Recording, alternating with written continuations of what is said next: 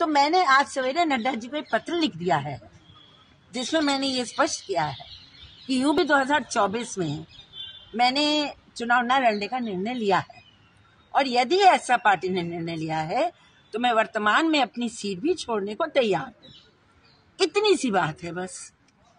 इससे आगे कुछ नहीं। मैं पार्टी में हूँ रहूँगी पार्टी का काम करूँगी। लेकिन मैडम देखा जाए तो राजनाथ सिंह जी हैं उनके बेटे को तो टिकट दिया गया है नोएडा बने से। रहेंगे। बिल्कुल। बिल्कुल।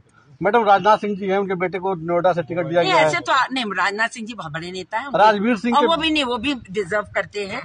देखिए पंकज डिजर्व करते हैं। मैं इस बात की कायल नहीं हूँ कि इनको दिया उनको दिया है। स्पष्ट है कि नौ दस लोगों के पास है पर अगर पार्टी ने निर्णय लिया जी मैम जी। मैं सम्मान करती हूँ लेकिन आप रिजाइन की जो बात कर रही हैं तो आप नहीं समझे ना। तभी रिजाइन करूँगी अगर उसको टिकट मिलेगा मेरा ऑफ़र है। कि भाई क्योंकि आपने निर्णय लिया है तो यदि आप उसको कंसिडर करेंगे टिकट देंगे तो मैं अपनी सीट सरेंडर करूँगी ताकि पार्टी के ऊपर ये ना रहे कोई लांछन ना लगाए कि आपने इनको क्यों दे दिया। लेकिन अगर टिकट मिले या ना मिले आप पार्टी में बनी रहेंगी पार्टी के लिए काम करती रहेंगी चुनाव प्रचार भी करेंगी पार्टी के लिए। जी। लोकसभा सीट आप छोड़ेंगे विधानसभा सीट आपको चाहिए। नहीं तो मैं मुझे नहीं चाहिए कुछ। बेटे को चाहिए।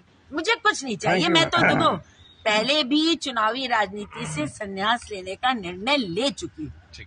2019 में भी मैं पार्लियामेंट की इच्छुक नहीं थी।